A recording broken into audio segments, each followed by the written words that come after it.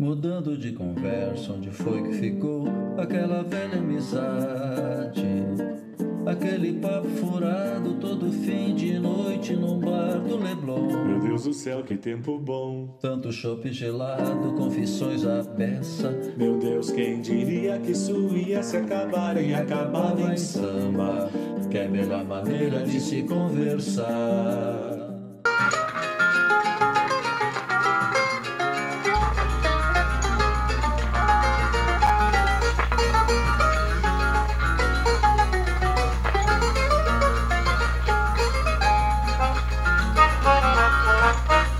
Olá pessoal, sejam todos bem-vindos a mais um programa Mudando de Conversa, o seu programa da boa música.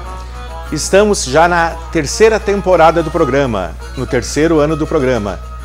E hoje, com muita alegria, pois estamos recebendo aqui no nosso programa a Alvales, que é a Academia Literária do Vale do Rio dos Sinos, aqui uh, representada por sua presidente Renate Gigel. Não é mesmo, Vani? É isso aí, César. Um alô pro pessoal de casa, nossos telespectadores, e, e trazendo algo muito representativo da nossa cidade, da nossa região aqui do Vale, que levar esse conhecimento para dentro do, dos nossos telespectadores, que nós temos uma academia literária do Vale, que é importantíssimo pelo trabalho que ela faz e por isso a gente fez questão de, de trazer a Renate hoje para nos falar um pouquinho mais sobre essa academia, como é que funciona, enfim, para que os nossos telespectadores entenda e que se junte, quem sabe, algumas ações da academia, porque isso é coisa nossa. É isso, Renate? Com certeza. Vani, César, muito obrigada por esse convite. Até eu fico bastante surpresa e angustiada. Estamos em casa. é, porque às vezes a gente participa de trabalhos, programas e tal, mas uma coisa assim tão absoluta. É, e como eu disse, eu estou aqui realmente para apresentar. É estou representando a nossa entidade, uma entidade, uma entidade que já tem uma, uma grande caminhada, né? Sim. E aí, se tu me permite, tu também, César, eu, claro. em primeira instância, além de cumprimentar os telespectadores, né, pra, que é para a gente é um prazer poder entrar na casa deles, Sim, né? E a gente espera que eles também tenham prazer e... com o que a gente traz. Certo. Mas um momento assim bem pequeno, mas, mas para mim significativo. A gente trabalha do grupo todo, que nós somos 40 acadêmicos, né? da região, alguns municípios nem tão perto, outros bastante vizinhos, mas eu às vezes no no Lufa-Lufa e a gente só se encontra uma vez ao mês presencialmente, uma vez, uma mas o trabalho mês. nós nos falamos no WhatsApp, né? Na, naquela coisa toda, mas não é, que não para, é, que não, tu não tem o tempo do momento de dizer assim, muito obrigada a toda a turma, não se poderia dizer aos mais antigos, um especial por essa força de tantos tia. anos, né? Para os jovens, que bom que eles estão chegando, para os novos, né? Claro, Porque precisamos ter continuidade. Sempre a renovação é, é importante, Isso. Né? E aquele carinho novas. hoje, eu tenho assim um momento que é só carinho, não é trabalho. Ah. para toda a minha turma e todos Sim. os que sempre estão com a gente, com Sim. os nossos parceiros. Sim. Inclusive assim, eu quero citar para que os telespectadores de repente entendam do porquê que eu estou aqui é que eles são parceiros da Alvares. Né? Os parceiros queridos Sim. que participam quando podem também, né? dentro dos nossos é. saraus. E que daí a gente já deixa dito, nós fazemos saraus poético-musicais. Nós já tivemos né? a oportunidade, o César e eu, Muito, de participar é, de momentos A gente cria momentos né? bons, a gente é. tem uma amizade gostosa Sim. e que a gente daí não quer parar. É, né? Há pouco tempo nós participamos com nossa música, né? o Vani e eu, um sarau da Alvares, lá no espaço Albano Hartz, no Calçadão, na antiga Sociedade Ginástica é. ali, né, para quem, quem conhece. É. Um sarau musical muito bonito, uh, poético, com músicas, né, com, com todos os, os uh, participantes da Alvares, os membros da Alvares presentes, né, uh, lendo seus poemas, falando de seus livros. E é um evento aberto à comunidade, né? É um sarau que a Alvales faz, mas aberta à comunidade, Sim. como vários outros eventos, como Sim. eu vejo oficinas, né? E outras coisas, Sim. né? E até antes, antes de continuar, ah, Renate, o, o Vani trouxe um texto ali ah, Ah, muito importante não. antes de ser lido sobre, sobre justamente sobre a Alvales, um pouco da história da Alvales e da finalidade, né? Tá então. Mu- Muito legal. Inclusive o, o título aqui, Alvales em Ação, e ele foi escrito pela, pela Renate. Eu acho que ele eh, resume muito bem o que é Alvales, né? Então até vou ler porque eu achei muito legal. A Renate escreveu em 9 de maio de 2017 e nós captamos e trouxemos aqui para Vamos diz ver o assim- que eu escrevi em 2017. Diz aqui, ó, Academia Literária do Vale dos Sinos, Alvares, fundada em 29 de julho de 1988, tem 35 anos. É uma associação civil de direito privado Esse é o motivador. e reconhecida de utilidade pública, conforme Lei Municipal número 103/91, de 9 de setembro de 1991, com autonomia administrativa e financeira, de fins não econômicos, de duração indeterminada, com personalidade jurídica distinta de seus associados, com sede e foro na cidade de Novo Hamburgo. E a Alvale, então, tem como fins, olha que legal, promover e difundir prática literária como arte nas suas mais diversas manifestações, congregar os escritores do Vale do Rio dos Sinos e Vale do Caí, que farão parte desta academia, e estimular novos talentos a fazerem o mesmo. Difundir o hábito do estudo da língua pátria como dever de cidadania e o hábito à leitura, crítica como contribuição a uma independência e um amadurecimento cultural libertador. Abordar todas as escolas e os estilos existentes na literatura, consoante a liberdade de expressão vigente. Olha, olha que, que legal. Isso é Eu escrevi direitinho. Alvales em ação. Eu escrevi direitinho. Foi 9 de maio de 2017. Isso Então, deve ter sido a abertura de algum trabalho que a gente tinha É. que dar uma justificativa E como- e acabou ficando, sim. né? E com a, Mas, tua, é, a tua presença, Sim. né, né, Renate? Falando É, um pouco para o nosso é. telespectador de Alvales, nós e achamos assim pode, que. é, eu posso ilustrar um pouco isso. Olha, então, no caso, sim, que ali por diz favor. que é 29 de julho de 1988 foi a fundação.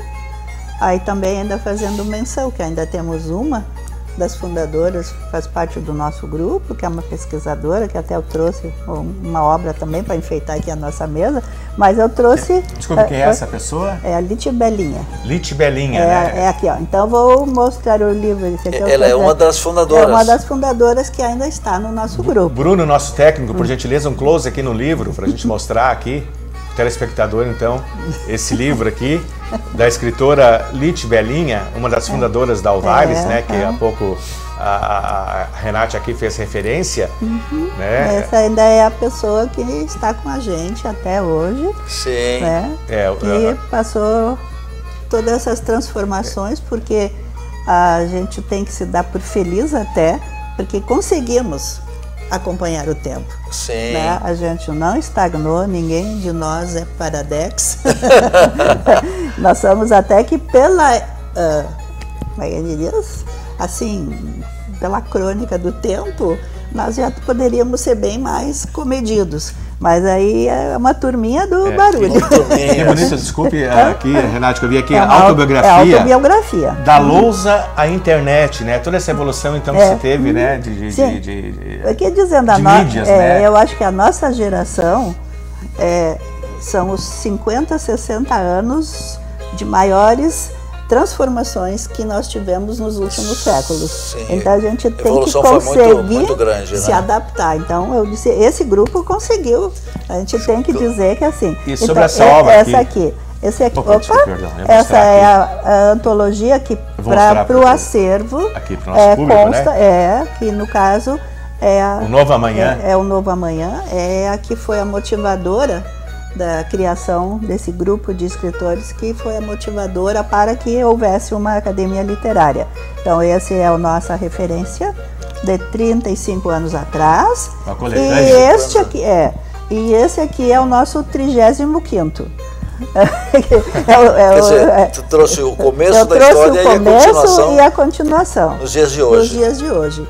E ah, também assim uma característica muito nossa é que se respeita o estilo, a expressão, a maneira de cada um. Uhum. Só não podemos ter brigas partidárias de nenhuma espécie. Certo. É, Assim de isso nós não, não temos. Certo. Nós temos a livre expressão, se a tua palavra quiser, mas sem contestações.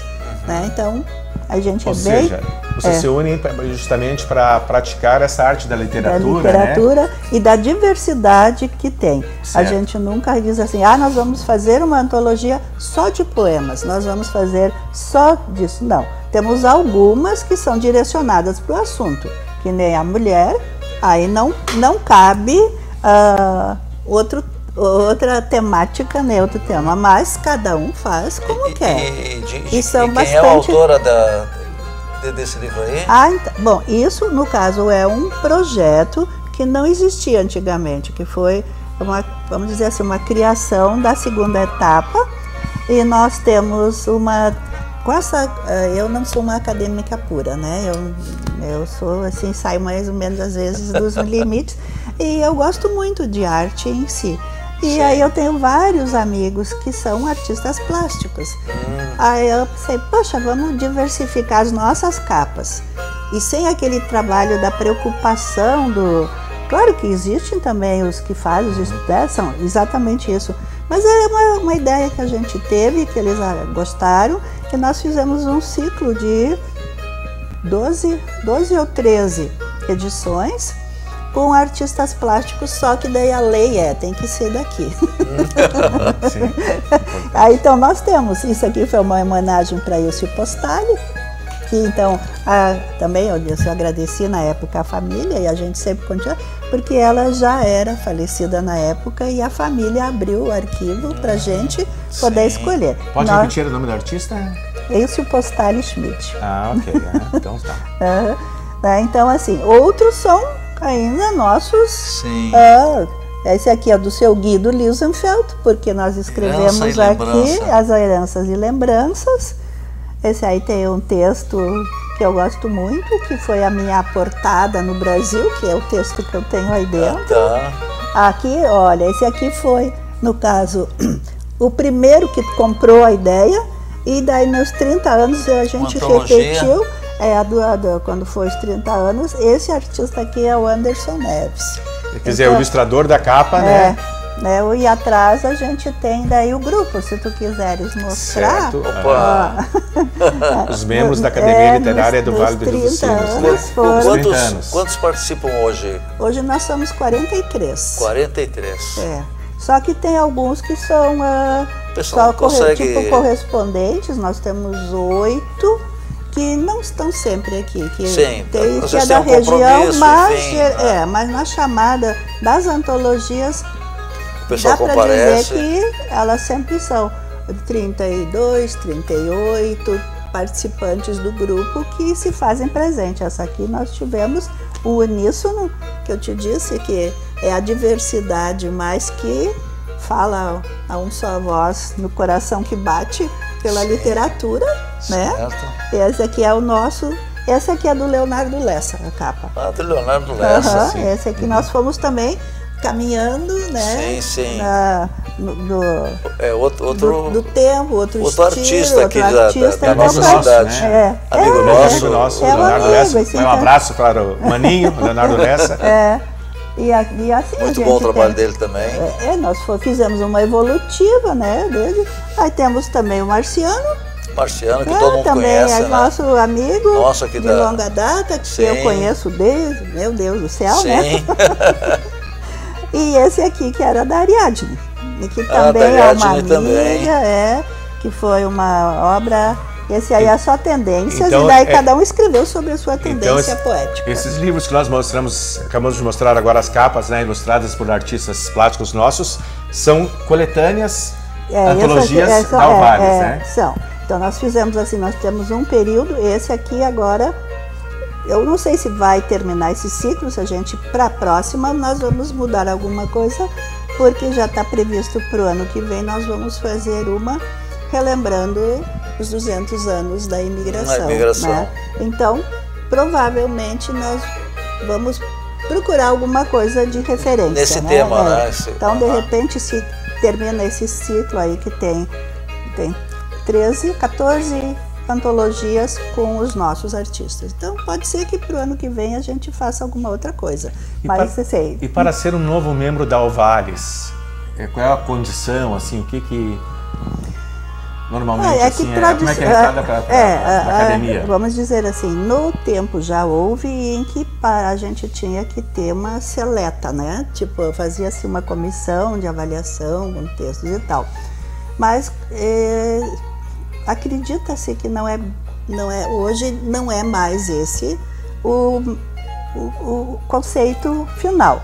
Então, assim, nós temos amigos que gostam de escrever, pessoas da comunidade que se identificam, que às vezes vão lá e dizem, ah, mas eu também eu posso e tal. Então a gente sempre tem assim, quando é indicado ou ele mesmo, sim, a gente sempre faz a proposta, meio ano de participação Pra para ver sentir, se realmente é. sentir, se a pessoa se sente que é aquilo e a gente também. Então, quando a pessoa realmente não é aquilo que ela procura, as coisas se tornam por si, Sim. né? As, as coisas se dispersam. E os que têm imbuído aquilo, não, mas eu quero fazer parte de um grupo, eu quero defender uma ideia diferente, porque uma academia, no fundo, é, ela é a que preserva, né? Ela tem que ter essência, ela tem que ter presença e tem muito trabalho, né? com Então, certeza. aquele que fica dizendo, não, mas eu sou escritor, eu até eu produzo livros, talvez mais do que a gente, né? Tenha que ter aquilo. Mas não tem aquela vontade comunitária de preservar alguma coisa como cidadão. E nós temos isso no bojo No de grupo, que né? é, além de tudo, a gente gosta de escrever, a gente gosta de ler, gosta de compartilhar, gosta de promover outras ações culturais onde a literatura pode casar, mas tem um ato de cidadania junto. E se percebe que o é, grupo, ah, quando participamos daquele sarau, a gente percebe a harmonia do grupo.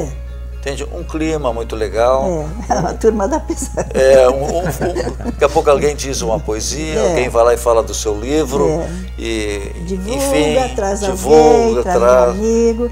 E também a gente tem essa, ah, essa busca do apoio mútuo.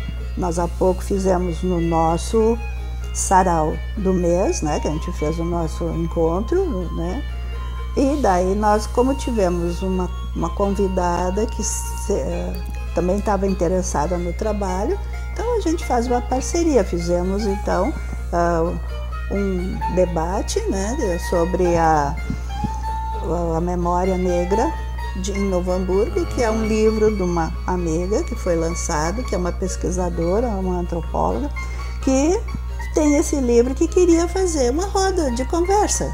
Então nós integramos, junto com o Memorial do Carlão, junto com essas pessoas, representando um outro segmento não igual ao nosso, mas igual.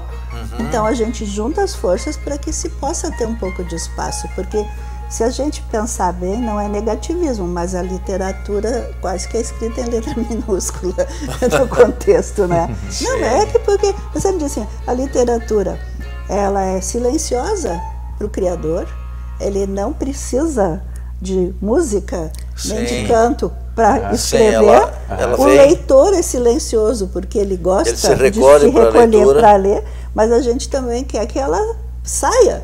E aí essa é a grande briga de momento. Tá. vez em quando da gente. É. E para isso existem as parcerias, né? Mas, Renate, mudando de conversa, como é o Sim. nome do nosso programa, mudando Sim, de eu conversa, a gente gosta de esperando mudar, tu de mudar a conversa. Estou A esperando. conversa é muito boa, por sinal, até agora muito agradável, muito esclarecedora para o nosso público, né?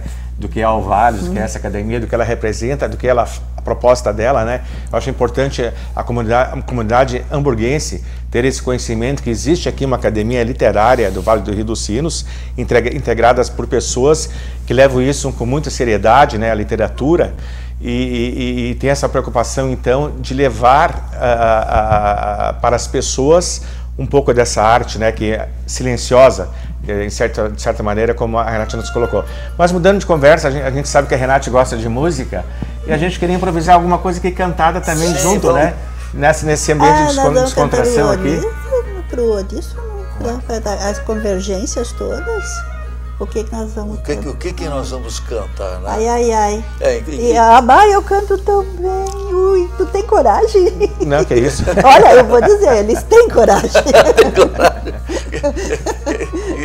isso, isso, isso, é demonstração até do, do, do nosso programa e, e, da Alvales também. É tudo muito espontâneo, Não, muito é, descontraído. A gente gosta, né? Não, é. a gente gosta. A gente, e também disse assim, eu fui bem preocupada, mas é que quando abre a caixinha, né?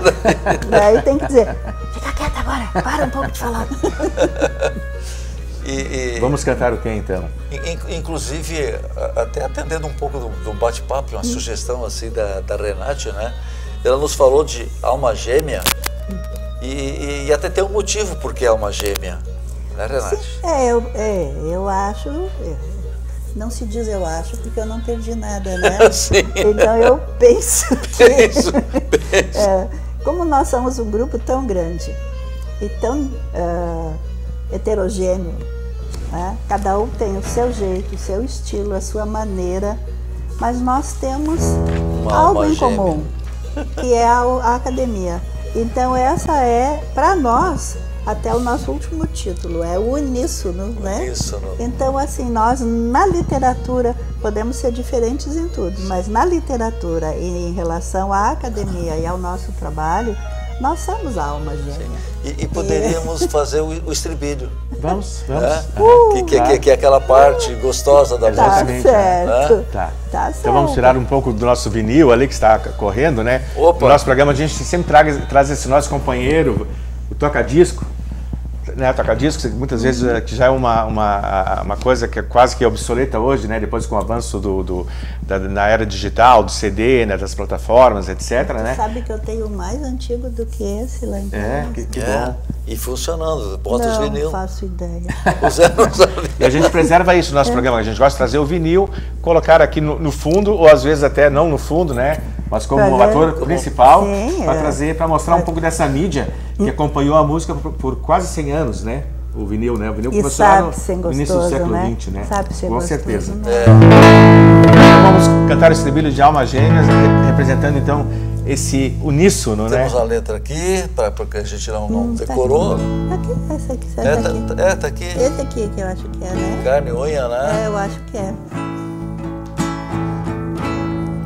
Carne e unha, alma gêmea, bate coração, as metades da laranja, dois amantes, dois irmãos, duas forças que se atraem, sonho lindo de viver, morrendo de vontade de você.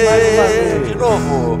Carne e unha, alma gêmea, bate coração.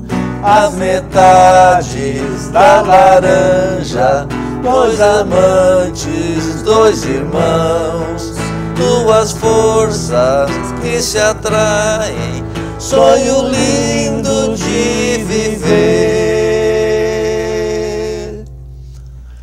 Estou morrendo de saudade de você. Vocês têm coragem. Estamos em casa, né? Ah, é, olha, gostoso, é adorável, aqui, é tudo, aqui. mas quem teve que ouvir. Aí, Porque, como será que saiu isso lá? Sa saiu muito o Bruno, bem. depois já me saiu, né? saiu muito bom, com certeza. Tá certo. É. Então tá. E, e, e, outra coisa, aproveitando esse embalo, né? Hum. A, a Renate, além de, de gostar de música, dessa alegria, da literatura toda, ela tem aqui um, um diploma, né? Um, Sim. Do que, sim. que é? Olha só. eu participei, uh, às vezes a gente recebe convite, correspondências para participar de algum concurso literário algum trabalho, ah, eu não posso dizer que eu tenha muito tempo para me dedicar. Mas uma vez eu recebi, eu disse, não, dessa vez eu vou eu... escrever alguma coisa para poder dizer, não, eu escrevi também alguma coisa assim. Aí, surpreendentemente, eu recebi um retorno. Olha só. De um primeiro lugar, de pessoa de poesia adulta, da, eu acho que é, deixa eu ver. Uh, sim, é do Centro Hispano-Americano de Artes e Letras de Montevidéu. Olha eu só. sou. Aí eu fiquei dentro, disse, olha, a gente na Alvales tem, é, a gente é. também tem. Ah, o nome da Alvales vai Mas, também é. além fronteiras. E, é. e parabéns, Renate. Obrigada. Show de bola, quer dizer, Obrigada. toda essa tua. Esse, uh, esse abstrato devaneio nunca tinha sido, por isso que eu coloquei aqui, nunca tinha sido uh, impresso. E ele eu coloquei no início. No, início. É, ele está então, tá. aqui dentro. Vânia, e, e Renate, estamos hum. indo para o momento final do programa, né? Estamos aqui então com a, com a Renate Giegel, hum. presidente da Alvales, Academia Literária do Vale do Rio dos Sinos, e nesse momento final ela teria algo para apresentar para nós, né? Algum novo projeto? Isso. Que estaríamos... ah, isso. Eu posso fazer menção a isso? Sim, tá sim, sim, sim. Então só é, Isso aqui é importante fazendo... ver. Isso aqui são coisas que eu trouxe, caso ah, você quisesse mas, mas ilustrar. Esse... Assim, bem rapidinho. É só dizer também que a Alvales ela é a sede de uma de, ela como delegada da UBT, que é a União Brasileira de Trovadores em Novo Hamburgo. Na uhum. época, nosso, em 2018, é, se foi nomeado então uh, uma uma núcleo, um, um núcleo, de tradição, né? Porque Sim. a gente tem no Bojo vários tradicionalistas que têm os seus livros próprios, nós temos os jovens que também já foram chamados, nós temos literatura infantil. Uhum. E temos vários outros desafios. Aquilo, né? aquilo, é. não, não, não, se escolhe o tema, não se discute é, o tema. É. Vem a inspiração de cada é, um. E para né? também se as pessoas saberem que às vezes hoje em dia tanta coisa é fake. E, e assim, nós não somos fake nem os nossos projetos. tá né? E daí sobre os projetos, eu só quero deixar uh, o convite para que as pessoas possam conhecer o nosso espaço, que eh, fica no calçadão, uhum. no prédio Albano Hartz, é a sala 1, sala multiuso 1, e no térreo. E ali, então, a gente dispõe de uma biblioteca, que nós chamamos a Biblioteca do Calçadão, que também é, da, é de empréstimos, claro que ela é uma diminuta. Uhum. Ela não tem 500 mil livros, mas ela tem o suficiente para quem quer ou sentar lá e ler uma leitura rápida ou levar um livro de empréstimo a estar segunda e terça-feira ela à tarde ela está disponível ao público uhum. e nós ainda legal. temos tradicionalmente os outros projetos que já há anos nós desenvolvemos que de uma certa forma é a nossa uh, nosso trabalho aberto não só para a nossa escrita, é um trabalho aberto para a comunidade, que nós temos ainda a alfabetização de adultos, é uma, um projeto que funciona nas quartas. Nós temos a, a escrita criativa, que é um apoio para todo aquele que quer melhorar a sua expressão, que quer redigir de uma forma melhor. Então, isso em quintas de manhã. Uhum. Às sextas de manhã, nós temos a construção poética e Olha declamação. Né? E na quinta tarde, esse ano é um projeto um pouquinho diferente, que nós estamos atendendo a algumas pessoas que, através da uma arte terapia literária, são frequentadores do CAPS, das pessoas do acompanhamento psicossocial. E, e, isso está é, tudo disponível é, ali? Disponível ali. Na é, sala 1 um, é, do... A inscrição pode ser no própria recepção do espaço com o pessoal que estava ali, que porque nós não hein? estamos lá toda semana, a semana toda. Sim. A gente tem os seus, os seus mas, horários. Mas está sempre aberto. Mas sempre está ali. Sempre tem alguém. Sempre tem ali na recepção. Pode preencher uma ficha, escolher o projeto de que gosta, aonde. E a gente, quando passa lá, alguém, a gente sempre está em contato, Sim. dá o nome do, do oficineiro, telefone então, para quem se inscreve. O, o seguinte, né, Renate, para o nosso telespectador, que bela informação que a Renate está trazendo, Porque o É pessoal, de porque repente, é um des- des- multiplicador, é, né? desconhece que tudo isso está disponível Aqui. no, é. no centro da nossa cidade local, de fácil acesso. Sim. Quer E dizer, sem nenhum ônus. isso, olha só, e ele pode buscar, né? Mas Sim, é, é verdade. pode Mas se é- desenvolver Porque várias quantas coisas. pessoas precisam de, uma, ah, de um momento em que tem que escrever melhor, que tem que ter uma correção? Tem. E os nossos oficineiros, a gente pode dizer com todo orgulho, são pessoas de gabarito, de Sim. formação, só professores de letras, doutores em literatura, ah, né, eh, declamadores, criadores eh, da trigésima, dos nossos enfim. escritores, até e to- todos eles não têm o que que a gente possa dizer que não seja um E- voluntariado. e, Hum. e além do espaço Albano Hartz no Calçadão, então, né, que você pode ir lá, ah, a Alvales, Academia Literária do Vale do Rio dos Sinos, pode ser encontrada no Facebook também, né, na rede social. Facebook e também Isso. temos Insta. Olha, né? no Instagram também, então vamos, vamos procurar, né?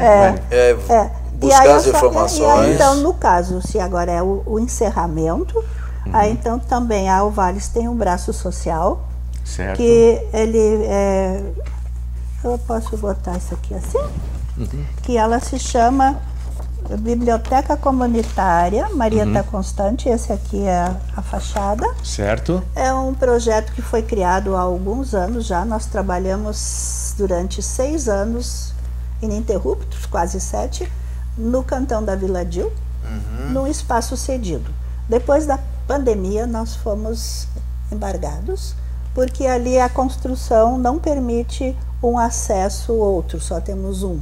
Então está fechado.